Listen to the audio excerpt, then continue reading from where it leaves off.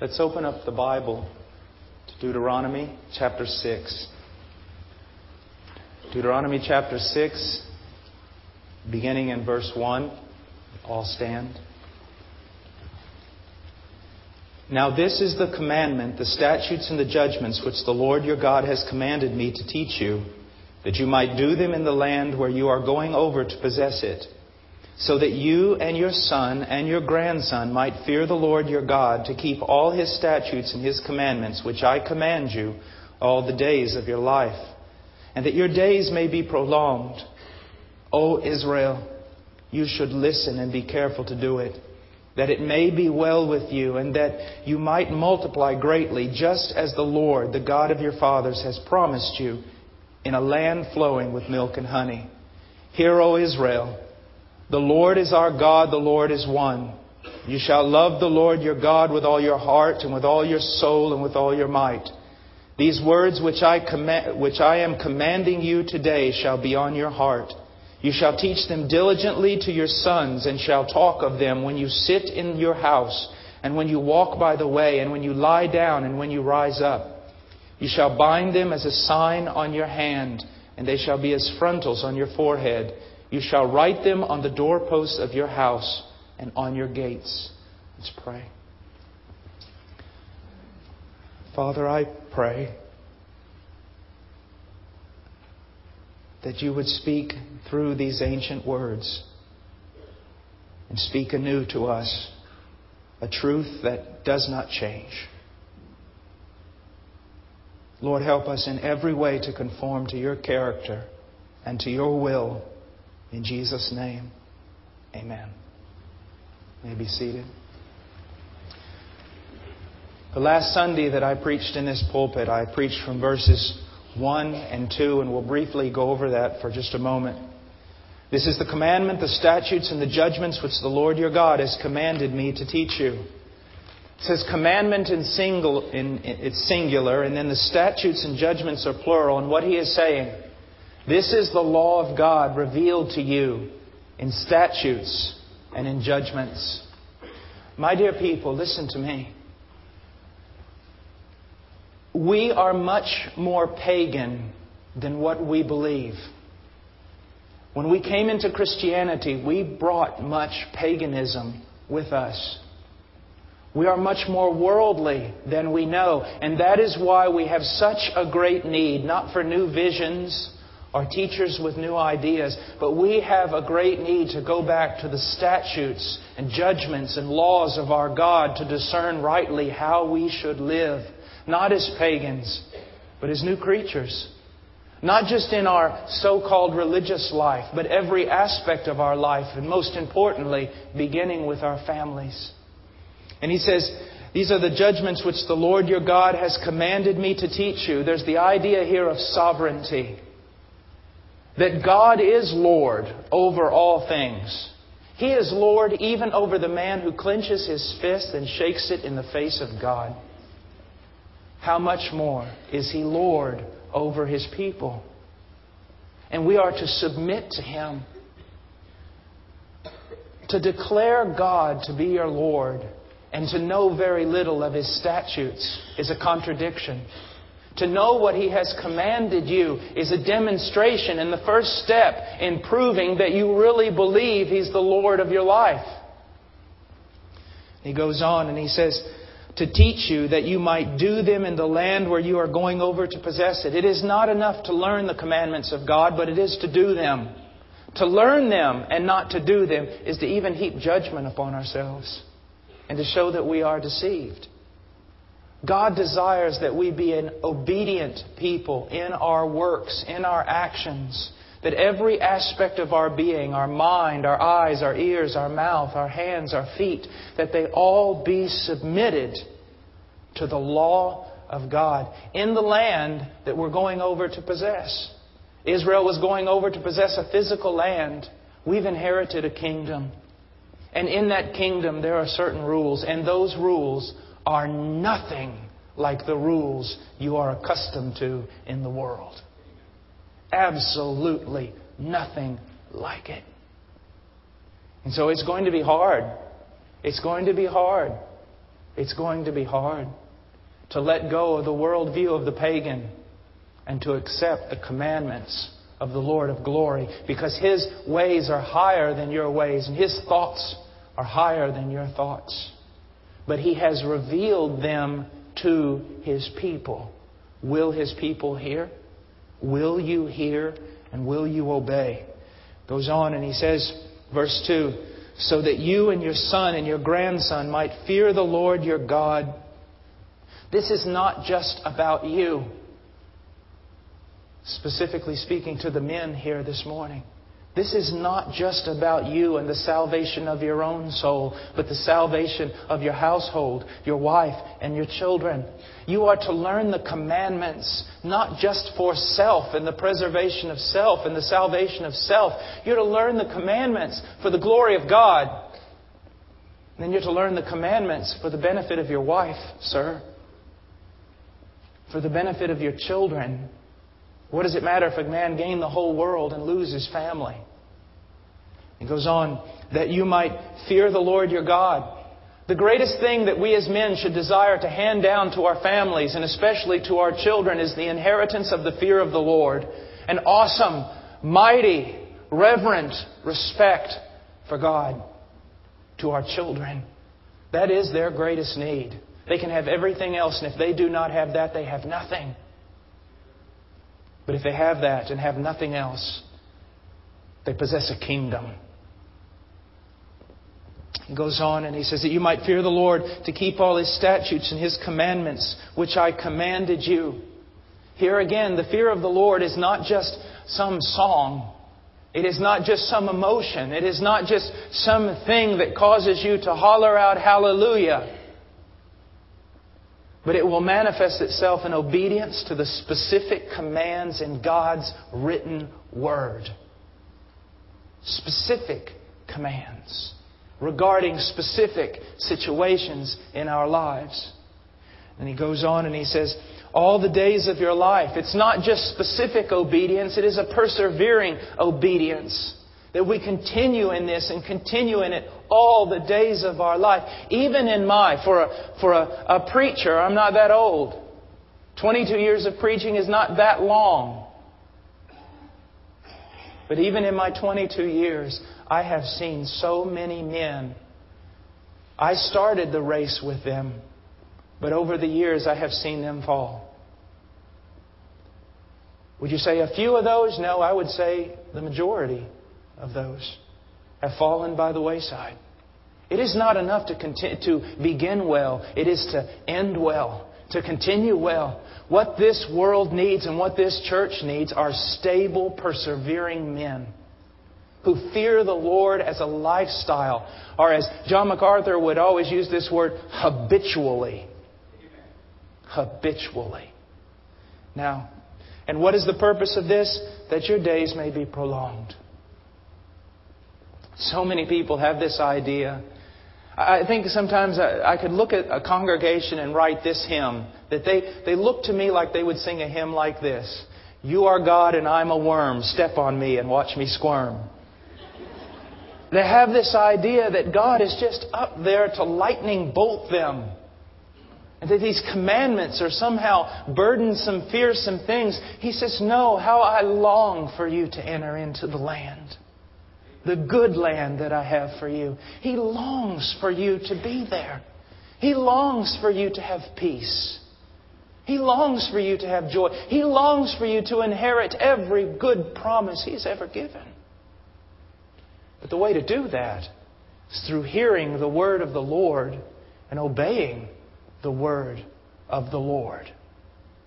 Now we get to three. And he says, O Israel, you should listen and be careful to do it, that it may be well with you, and that you may multiply greatly, just as the Lord, the God of your fathers, has promised you in a land flowing with milk and honey. Now, the first thing that I want to look at, and probably the most important part of this entire passage, is, O Israel. The exclamation. Do you hear there the heart of Moses? He's looking at a people not that he just leads to a place. He's looking at a people that are knit with his own heart. He's looking at a people that he loves. He's looking as a father on his children and he's saying, Oh, Israel, listen to me. Listen to me, please. Listen to me. There are good things I want to tell you. There are great things I want to show you. There are things I want to warn you about. Why? To keep you from joy? No, so that you might have it. Oh, Israel, I have seen God and know to fear Him. Oh, Israel, I have seen the glories of Egypt, Moses declares, and seen its destruction. I have seen what sin can do. Oh, Israel, listen to me. Now, if you think that that might just be emotionalism, look in verse 29 of chapter 5. We hear the same thing from God. Verse 29 of chapter 5. Oh, that they had such a heart in them that they would fear me and keep all my commandments always. Why? That it may be well with them and with their sons forever. Can't you see here the desire of God to give good to His people? You say, oh yes, Brother Paul, and we want that too. I'm sure you do, but do you understand the condition? Hearing the word of the Lord and obeying the word of the Lord. And he says, I want you just to look at something for a moment. If Moses can have this about such a large people, what should pastors and teachers and elders, what kind of compassion should they have? What should be the motivating desire of the men who lead this church? What should it be? Oh, High Point, I desire such good things for you. Oh, families of High Point, I desire such great things for you, joy unspeakable, and I have such fear for you that you will step off the path and do harm to yourself. And if elders and the such should have such concern, how much more fathers, heads of family, you know, we as husbands and fathers love to talk a great deal about our headship, forgetting that we have a headship in heaven. We like to speak much about our headship and not realizing that it is not a place of privilege, it is a place of servanthood. They tell me, I don't know if it's still the case with the Marines, but the first Marine arrives when the last Marine arrives. They all arrive together.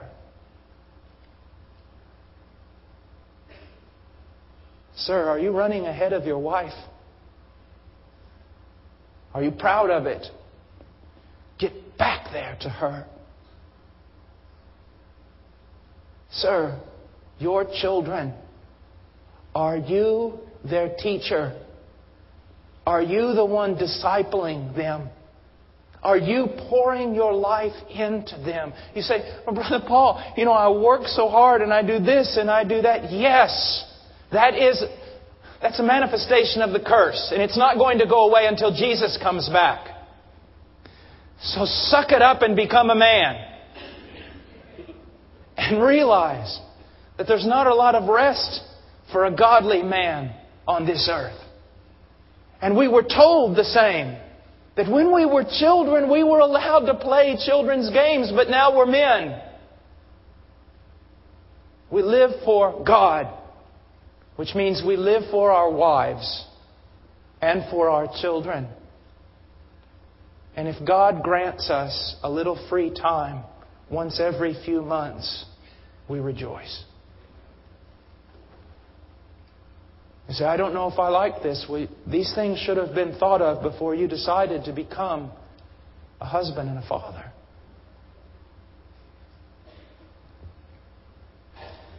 I want you just to listen to the Apostle Paul in Acts 20, verse 31. He says, Remember that night and day for a period of three years I did not cease to admonish each one with tears. Look at the heart of this, this apostle. acting almost here as, as a pastor. Remembering that night and day for a period of three years. You say, Paul was, well, Paul didn't mean that literally. If he didn't mean that literally, he was exaggerating. Because in the context, in this type of literature, what he's saying here has to be true or it has to be false. It was not an exaggeration. Now he could do this. Why? He wasn't married. A godly married man can't say this. A godly man with children can't say this. He can't give this type of thing to the church. And Paul talks about that in 1 Corinthians. Remember, men, the will of God is perfect. That means you do not have to violate one aspect of God's will to obey God's will in another aspect of your life. Anyone who says that, you know, I hear so many pastors say, I've offered my family on the sacrifice, on the altar, you know, to God for the ministry, they're lying. They're building a kingdom of their own, is what they're doing. Because you don't build God's kingdom by disobeying His will. But Paul says, Remember that night and day for a period of three years I did not cease to admonish each one with tears. As men in this church, that's the way we should be.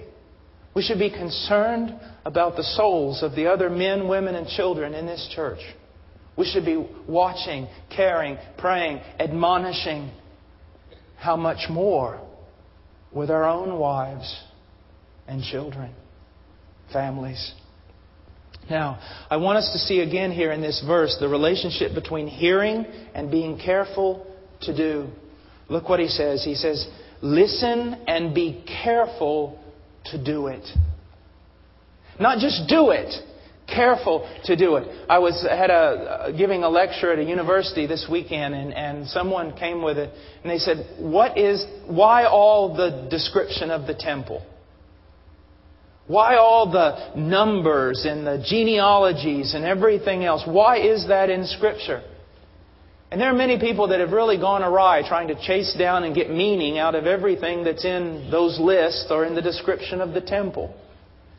But I told that student, I said, look, if there is one thing God is telling us here, it is He is a detailed and specific, careful God that if there was so much detail and preciseness about a physical temple made out of stone and blank planks, then how much more should we be careful with the living temple that we are? Your body is the temple of the Holy Spirit. You be careful to listen.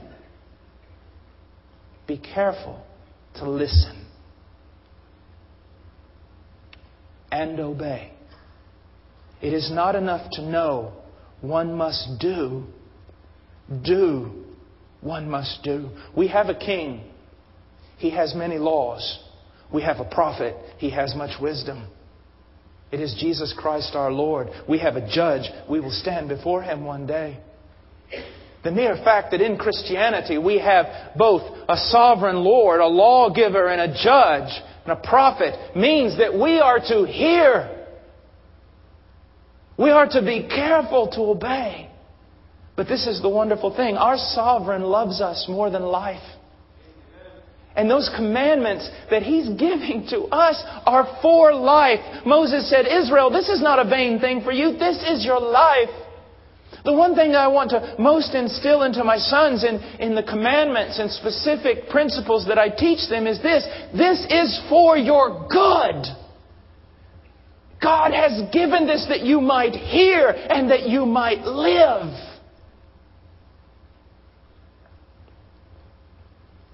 Now, we'll go on and look at a few things here. The goal of hearing and careful obedience.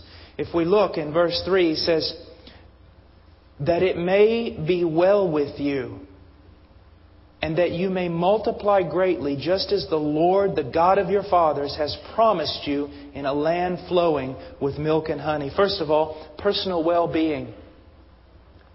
Isn't that amazing? Personal well being. God wants it to be well with you. You say, well, Brother Paul, does that mean healthy, wealthy, and wise? Maybe, probably not. The wise part, yes. Healthy and wealthy, I'm not too sure about. I guess if I was more sure about that, the church would be larger, wouldn't it?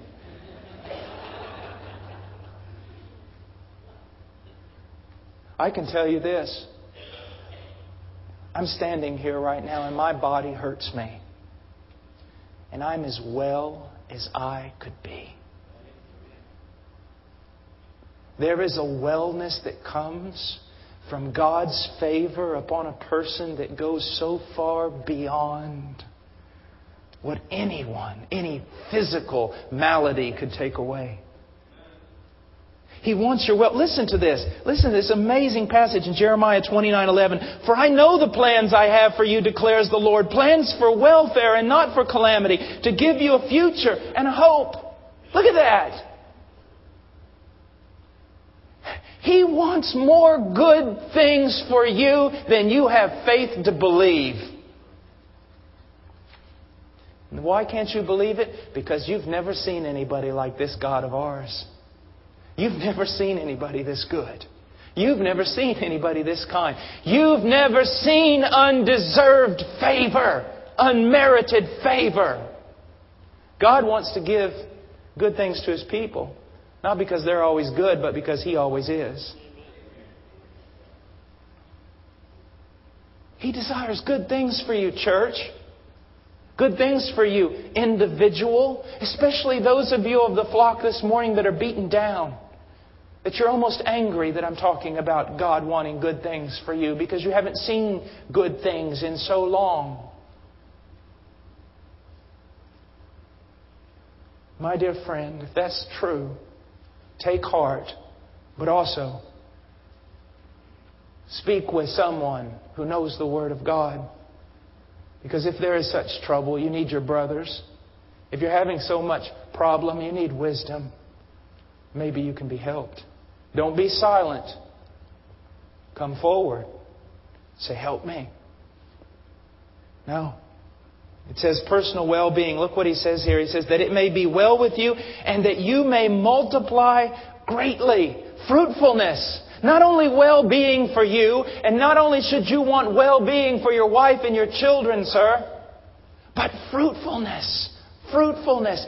God wants His people to be fruitful. If you believe in the sovereignty of God, you believe that He's ordained fruitfulness for His people. He's ordained good works that we should walk in. He wants us to be full of fruit. He goes on and he says in John 15, 16, You did not choose me. And read that again. You did not choose me, but I chose you and I appointed you that you would go and bear fruit and that your fruit would remain so that whatever you ask of the Father in my name, He may give to you. Say, explain that, Brother Paul. I don't have to. He said it. You just need to go believe it. I can tell you this. I mean, I just, the, the, the Baptist catch 22. God will give you everything according to His will. Then if you ask a Baptist, well, does God will anything for you? No, I don't think so. He does have a sovereign, immutable will. He does say, You have not because you ask not. Go figure. I don't have to. David said that he did not exalt himself, raise himself up to explain great things too hard for him, but he walked beside God like a weaned child. Like a weaned child. All I can tell you this you desire well being, he desires it more. You desire fruitfulness, he desires it more. Now be confident, be lifted up, be encouraged and set about doing the will of the Master, knowing that your work is not in vain. Give a cup of cold water to a man because of Christ. Even if he throws it to the ground and slanders your name, your reward is in heaven. Your work is not in vain. Now, fruitfulness, but also I want us to look, he said, just as the Lord, the God of your fathers, has promised you in a land flowing with milk and honey. First of all, I want to look at this idea of Lord God of your fathers. Lord God, this idea of sovereignty, of, of power, of authority, but more than that, of your fathers. God's looking at Israel and He's saying, check out my resume. Go back as far as you can go back into history. Talk to anybody you want to talk to, and you will find out I failed not a one of them. I never failed. Not one of all my good words have ever fallen to the ground. Talk to your fathers. Now, fathers, can your children talk to you? Are you a man who has so walked with God that your children can say, Father, is it true? And then you stand up and for hours give instance upon instance upon instance of the faithfulness of God in your life. You see, here's a thing that we cannot get away from this idea of this family being knit so close. So close. Of the father having such prominence, such responsibility in the family to be a beacon, to be a, to be a, a shield, to be a, a stone of notice that anyone can look at, and it's a testimony to the faithfulness of Yahweh. The fulfillment of God's promises. It should be the desire of our hearts that our children inherit all the promises of God. You say, I want my child, I could care less whether or not my child goes to college. I can care less whether my child gets a great job, has a reputation, or can stay in some of the neighborhoods you live in. I could care less. I want my child to inherit all the promises of God. You say, You don't want very much. No, I want far more than what most men want. Sometimes I look down laughingly and I'll say, Oh Lord, whatever grace would be given to me, give it to this boy, and then laugh because I know His grace is not something that's limited that He has to cut from me in order to give to my children. His grace is infinite. Lord, pour it down on us all.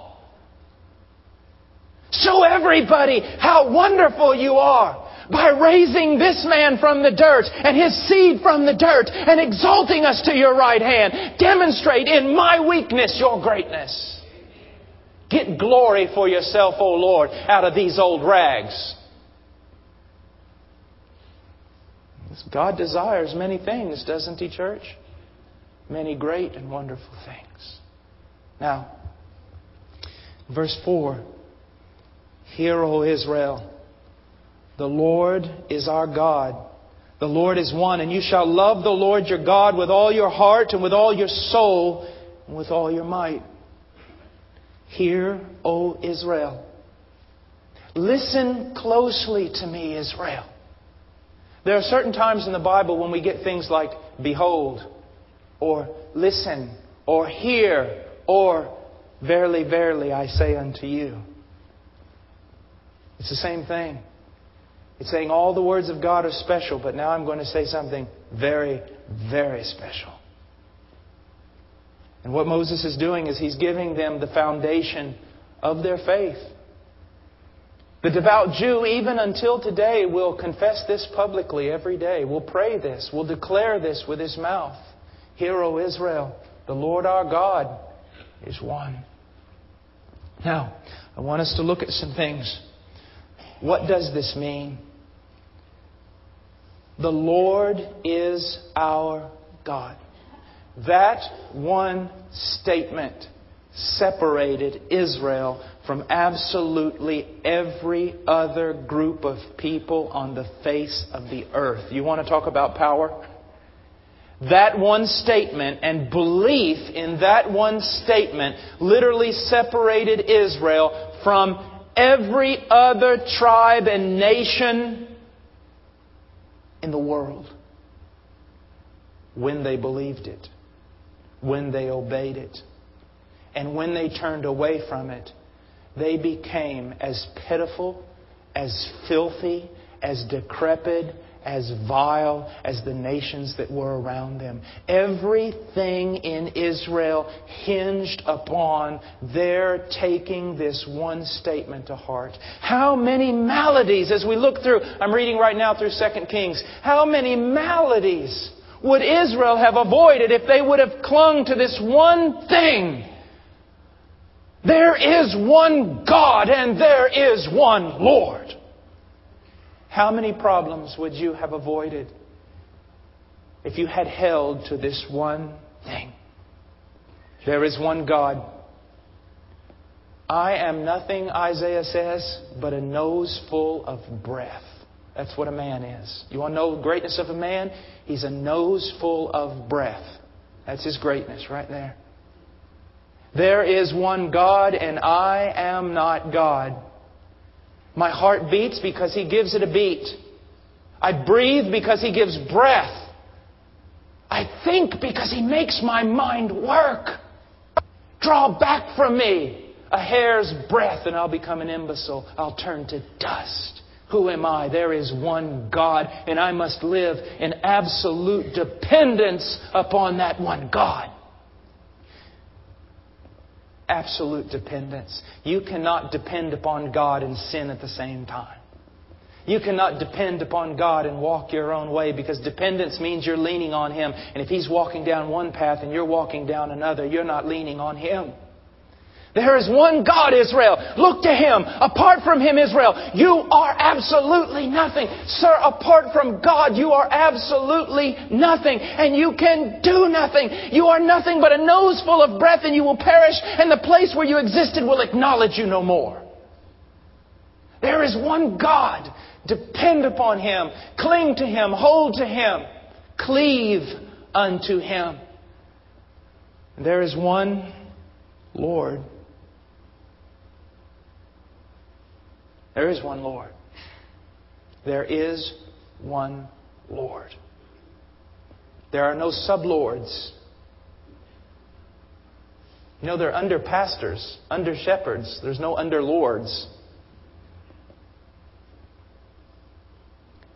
Is your heart divided? When it says, Blessed are the pure in heart, that word in Greek basically means Blessed are hearts that do not have mixed loyalties, that are undivided, unalloyed. Who's Lord most? The one true Lord are you, the usurper.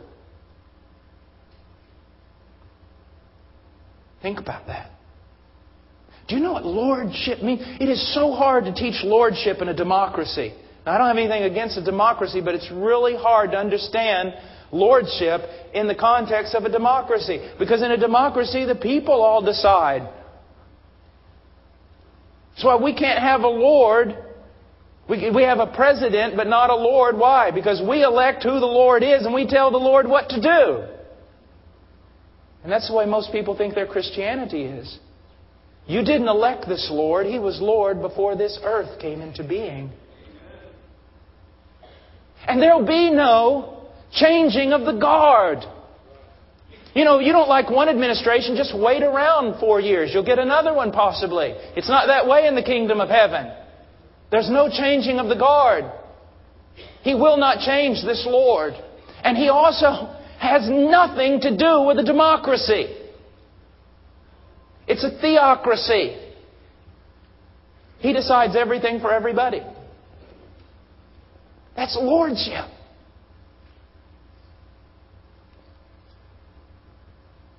Lord, how do I use my life?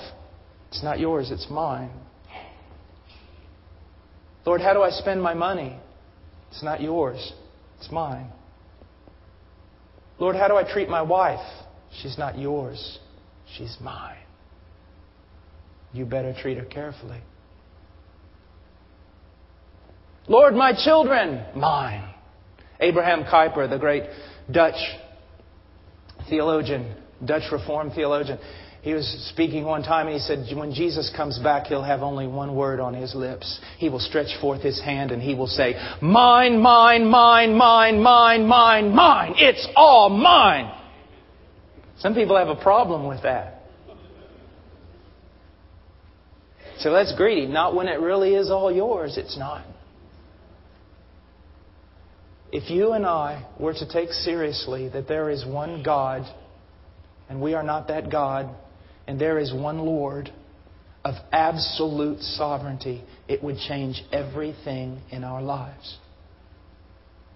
How little we have to know in order to be what we ought to be if we would just obey. Now, I want us to look at something that is extremely important here, and it is how are we to respond? And if you look in verse 5, he says, You shall love the Lord your God with all your heart, with all your soul, with all your might. Jesus is asked, What is the great commandment? And he says the same love the Lord your God.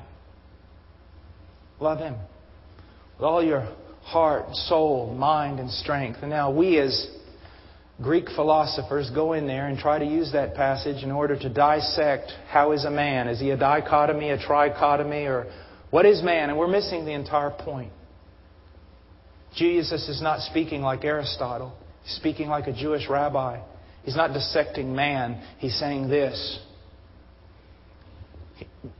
In Jewish literature, we have a thing called Hebrew parallelisms and a stacking of one thing upon another to prove a point.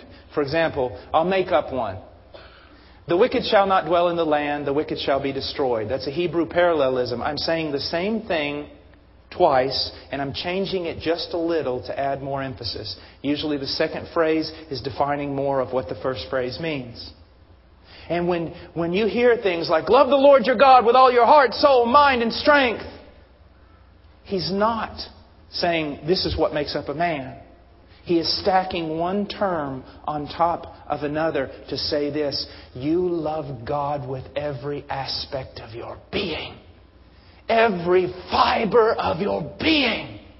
Everything that you are, from the deepest point to the point farthest out, whatever you are, inside and out, love God with everything you are, every beat of your heart, every breath of your mouth, every thought of your mind, every blink of the eye, every word from your tongue, every movement of your feet, every touch of your hand. You love God with every emotion, with every will, with every act. Everything brought in to love God as a life of worship. That's what he's talking about. But now let me pull this into a more defined realm. How are we to respond? How do you love God? Jesus told us clearly. Let's just look at a few things. We're to flee from all forms of idolatry. A verse that, that Ian, my little boy, is learning is 1 John 5.21. Little children, keep yourselves from idols. Simple, no? You say, well, you know, I got that one at least. I mean, I don't have some big uh, monster looking stone image in my house that I'm burning incense to. No, but you might have a metal one sitting out in your garage. It might be your job. It might be your clothes. It might be your reputation. It might be your body. It might be the things of this world. It might be just your desire to act as sovereign. Oh, there's so many idols. Relationships can be idols. Everything can be idols. Marriage can be an idol. Children can most certainly be an idol. My dear friend, we have so many idols, but the biggest one is us. Self. The idol of self, the God of self, exalted beyond measure above all things, yea, even above the highest heavens and the throne of God. Not realizing that it's nothing but dust and will dash to pieces, that every time we climb up that throne, it is made out of paper mache, and every crown we put on our head is nothing but tin. Flee from idolatry. If your right hand offend thee, cut it off. If your right eye offend thee, pluck it out. Now that is very radical. That is very radical. There are so many things in life that I desire to do, and I do not do them. And this is one of the reasons. I'm a very passionate person about whatever I do. I, I have a one track mind. My wife says I can't chew bubblegum and walk at the same time, and she is right. If I do one thing, my mind is focused on that one thing. And there are so many good things that I would like to do, but I know who I am. And I know I could start doing them and lose myself in them.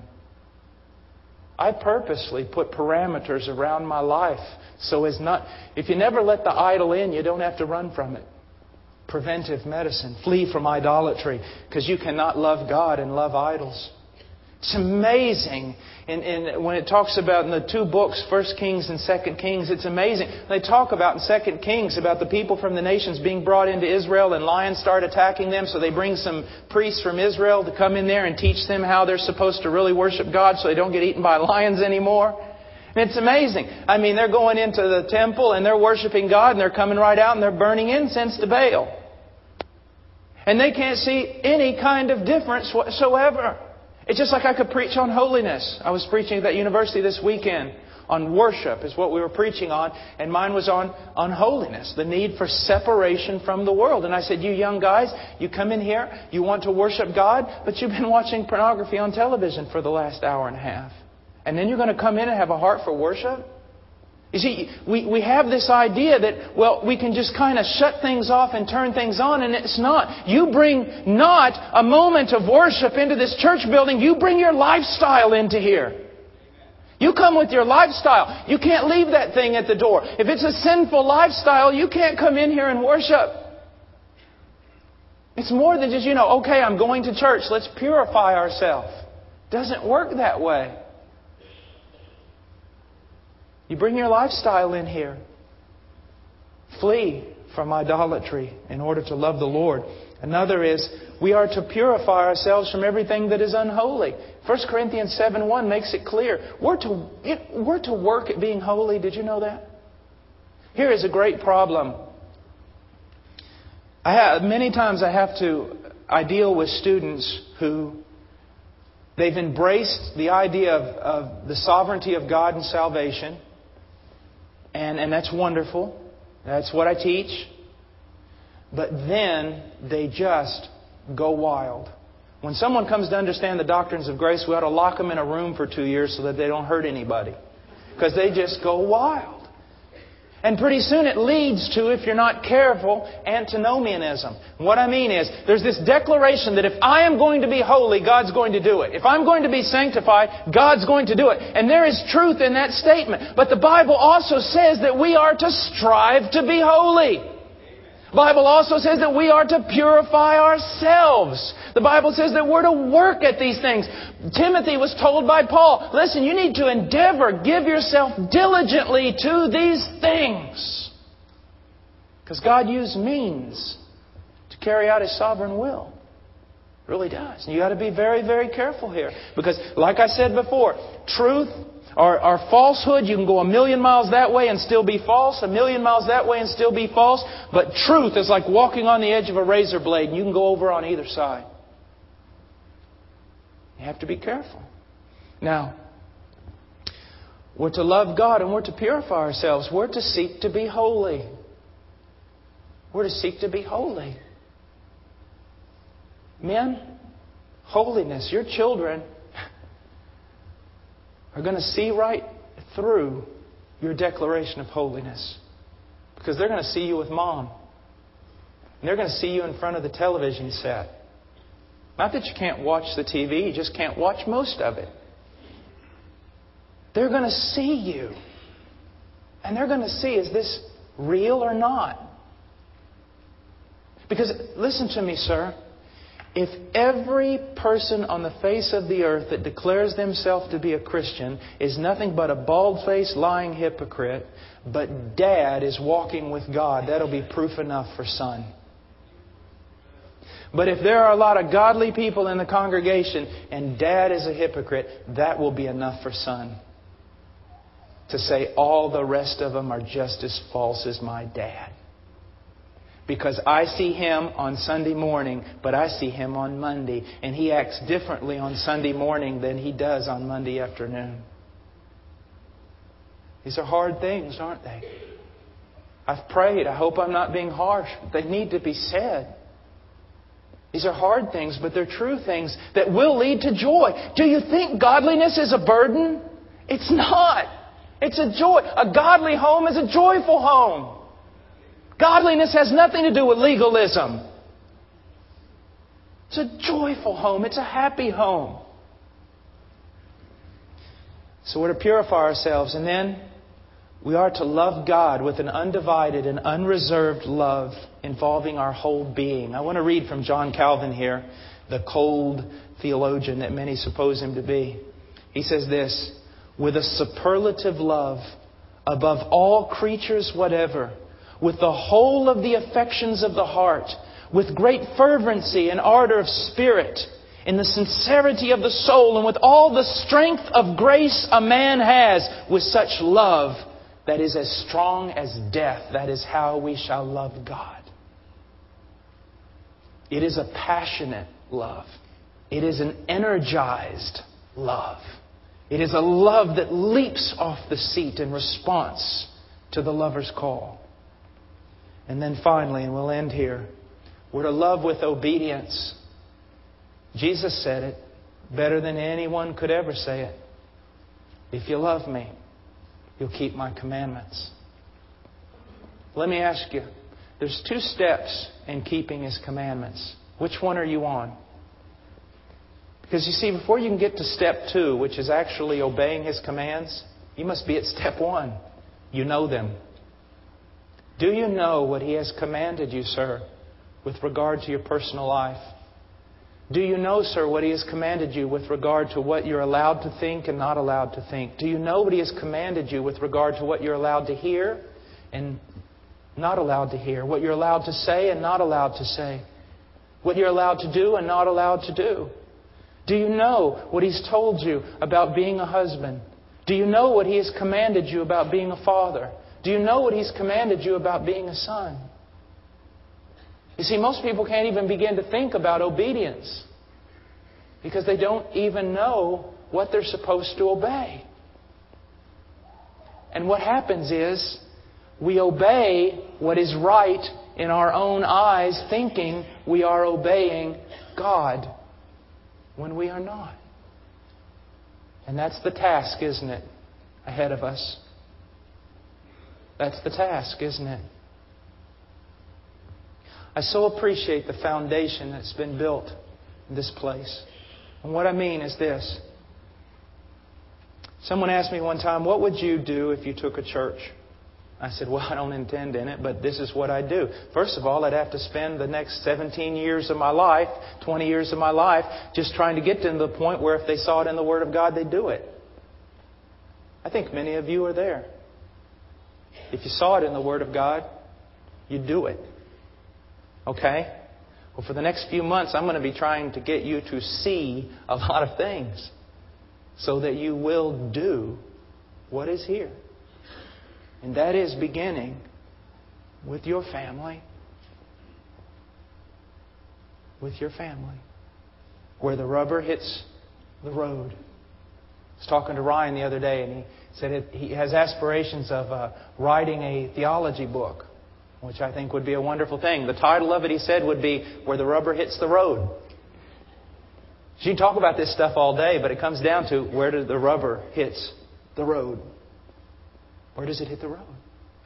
Are you going to obey? Now, if you're here today and you don't know Christ, or you're here today and you think you know Christ, but your life is a contradiction to everything Jesus says about himself and a true Christian, you need to talk to somebody. If you're here today and you're a Christian, you're struggling with some things, we have counselors here. And not just me coming down here. Uh, there are people just waiting. If anyone comes down needs any help at all, you come and we'll, we'll talk to you. You can set up an appointment. We'll talk to you during the week. Whatever we can do so that this right here hits the road. That's our desire. Now, let me tell you something about me. I was greatly burdened when I got up in this pulpit. I'm not burdened now. I'm released. All right? My job is over. And I want to tell you something. I've been in this long enough. Invitations mean very little to me. I don't want anybody coming down here just to be coming down here. But if you do have a need, please come. And if you say, "Well, I'm just I'm just not very public person," okay, then come afterwards. But there's a difference. If you come during the service, it's free. If you come afterwards, you have to take me out to eat. So see, there's. No, I'm just kidding. If you have a need, we're going to have a lot of counselors coming down. Just come forward. We're going to, let's stand as I pray. Father, I come before you in the name of your Son. And I know that your word has been spoken forth, even though through feeble means it has gone forth. And I pray that you would give your heart to your people. Give them such a heart, Lord, that they would obey, that they would hear and obey. Oh, dear God, do this for your sake, for the sake of your people. In Jesus' name, amen.